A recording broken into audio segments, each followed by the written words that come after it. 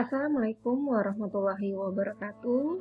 Hari ini kita akan membahas mengenai analisa kecelakaan dengan metode MORT atau Management Oversight Risk Tree.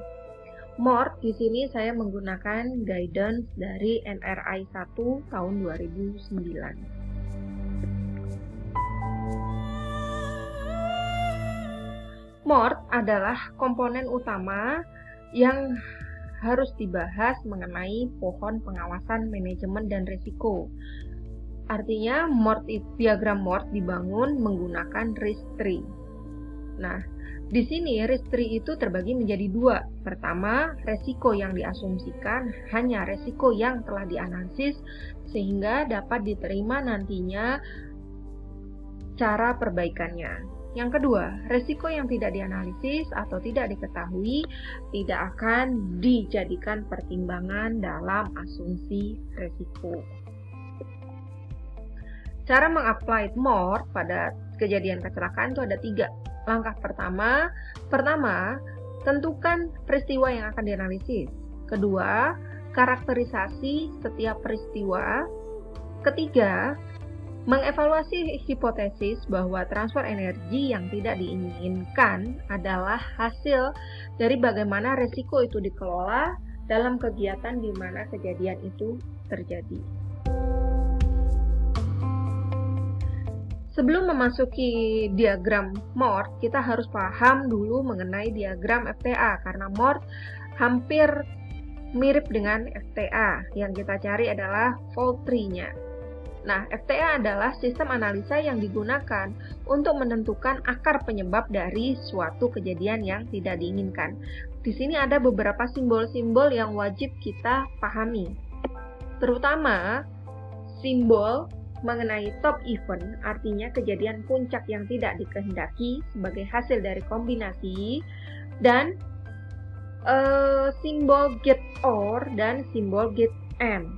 Get or artinya suatu kejadian event tadi dapat terjadi karena pilihan berbagai macam faktor. Jadi kejadian di event ini dapat terjadi karena kejadian A atau kejadian B atau kejadian C atau kejadian D dan lain-lain.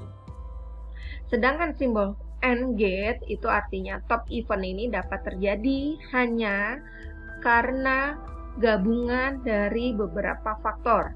Sehingga kejadian kecelakaan itu hanya dapat terjadi karena disebabkan faktor A dan B dan C dan D jika berinteraksi. Sampai di sini cukup paham? Oke, kita lanjut. Nah, di sini ada uh, deskripsi mengenai mort tree atau di sini juga e, bagian dari FTA. Di sini ada kejadian kecelakaan, di mana kejadian kecelakaan ini dapat terjadi karena tiga hal. Yang pertama adalah e, karena adanya input bahan bakar, kemudian e, input dari sumber pengapian dan oksigen. Artinya apa? Kebakaran dapat terjadi karena ketiga hal ini berinteraksi. Itulah kenapa dia diberi simbol N. Sedangkan sumber pengapian ini dapat terjadi pilihan dari piroporik, adanya pahat, panas, atau katalitik. Begitu juga dengan panas dapat terjadi karena tiga hal ini, pilihan tiga hal ini. Oke, kita lanjut. Nah, untuk mort, mort itu dapat terjadi karena dia memiliki beberapa jenis referensi yang saling berinteraksi, sehingga nanti akan didapatkan identifikasi yang unik. Bagan mort itu sendiri terdiri dari uh, loss, kemudian oversight, asumsi risk, specific control factor, manajemen sistem faktor, kemudian ada uh, control of work, barrier ana, barrier uh, barrier analisisnya.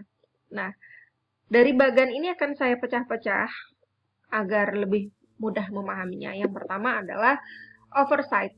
Oversight dapat terjadi karena dua hal ini berinteraksi. Itulah dia disebut e, diberikan gerbang N. Memang pada bagannya tidak digambarkan gerbang N-nya ini. Hanya saja pada penerapannya artinya oversight itu terjadi karena kurang uh, spesifik kontrol faktor dan manajemen sistem faktor. Ya, ini tadi. Kemudian lanjut sekarang ke spesifik kontrol faktor. Nah, kita lanjut ke accident. Accident dapat terjadi karena empat hal ini berinteraksi. Itulah dia diberi simbol N. Jadi, eh, kejadian kecelakaan dapat terjadi karena aliran energi yang berpotensi berbahaya itu muncul, kemudian karena orang atau benda yang rentan itu terpapar, ketiga, penghalang serta kontrol yang tidak memadai, keempat, adanya ketiga kolaborasi ini. Untuk bagian yang keempat ini dia diberi kotak putus-putus. Artinya apa? Kotak putus-putus ini tidak harus selama uh, setiap ada kejadian kecelakaan harus ada. Yang paling penting hanya tiga faktor ini. Selanjutnya, kita harus membuat dulu sebuah barrier analisis format untuk memudahkan pengisian bagan selanjutnya. Di sini ada energy flow. Buatkan targetnya apa, kemudian buatkan barriers atau kontrolnya itu apa. Artinya di sini uh, Barrier itu adalah rintangan yang murni yang dibuat untuk melindungi agar energi flow yang sedang bergerak ini tidak akan merusak target yang ada. Nah, tabel tadi kita pakai untuk mengisi ini, barrier LPA. Selanjutnya ada SCI. Di sini e, berisi mengenai control of work and process. Nah, untuk SC ini kita menggunakan gerbang gate OR. Artinya apa? Kejadian control work and process ini dapat terjadi karena pilihan dari SD1 sampai SD6. SD1 itu apa? Yaitu sistem informasi teknis. Verifi kedua, verifikasi kesiapan operasional ketiga inspeksi, keempat pemeliharaan, kelima pengawasan dan performance, dan yang keenam adalah dukungan dari pengawasan atau supervisor.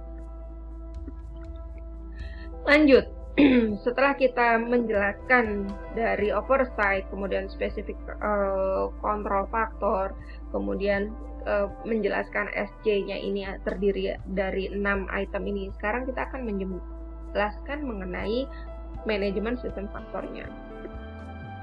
Nah, untuk di manajemen ini ada dua hal. Yang pertama, dari manajemen sistem faktor ini dapat terjadi karena ketiga hal ini berinteraksi, makanya dia harus ada semua. Dia menggunakan gerbang gate N. Kemudian untuk MA3 risk management sistemnya dia menggunakan gerbang gate OR. Artinya apa? Risk management system dapat gagal itu dikarenakan MB1, MB2, MB3, MB4 atau MB5. Jadi kita memilih dari ketiga, kelima MB ini. Nah, bagaimana untuk membuat uh, sebuah bagan mod? Pertama, untuk membuat bagan mod dibutuhkan dua orang ahli K3. Idealnya mereka yang benar-benar paham mengenai apa itu K3. Kedua, uh, orang tersebut harus paham mengenai teknis dari sistem yang ada di tempat kejadian kecelakaan. Ketiga, deskripsi yang ada yang terkumpul mengenai urutan kejadian itu cukup lengkap sehingga memungkinkan analisis dapat dimulai. Setelah bagan nanti kita buat, selanjutnya adalah kita membuat bagan alur untuk menentukan faktor yang mana yang menjadi prioritas untuk segera diperbaiki. Nanti dari faktor-faktor itu akan masuk pada kode red atau kode green yang artinya faktor-faktor ini memiliki bukti yang lengkap dan dijadikan pertimbangan untuk prioritas diperbaiki pertama kali. Sedangkan faktor yang nanti masuk ke kode biru artinya faktor tersebut buktinya itu masih belum lengkap sehingga perlu kita lengkapi terlebih dahulu sehingga dapat dilakukan perbaikan.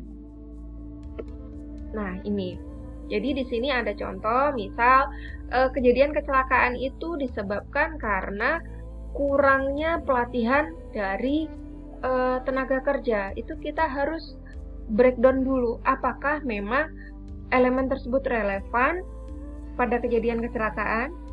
Nah, jika iya, apakah sudah lengkap dokumen-dokumen yang menyatakan bahwa hal tersebut terjadi karena memang kurang pelatihan? Jika belum, masuk ke kode biru. Anda harus mencari kembali kelengkapan dari faktor yang Anda duga tadi. Kalau dia sudah lengkap, maka dapat e, masuk ke sini.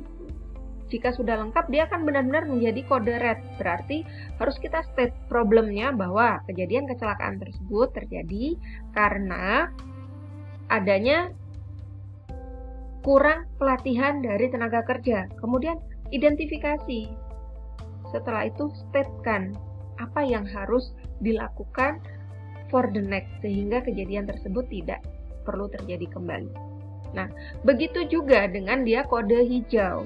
Apa beda antara kode hijau dan kode merah di sini?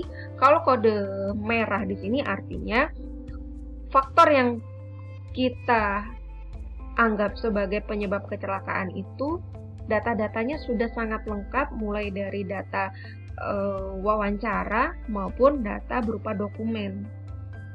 Sedangkan dia masuk ke kode biru, kemungkinan data secara dokumen masih belum lengkap, tetapi data dari hasil wawancara sangat lengkap untuk mendukung, sehingga dia masuk ke kode hijau.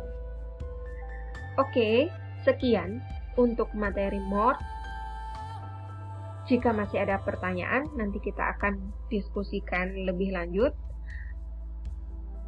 Selamat mengerjakan, silahkan Anda mencari satu kasus kecelakaan, kemudian Anda berikan dulu asumsi-asumsi untuk melengkapi kasus tersebut. Jika sudah selesai, masukkan dalam bagian more dan masukkan ke bagian alir. Selamat mengerjakan. Assalamualaikum warahmatullahi wabarakatuh.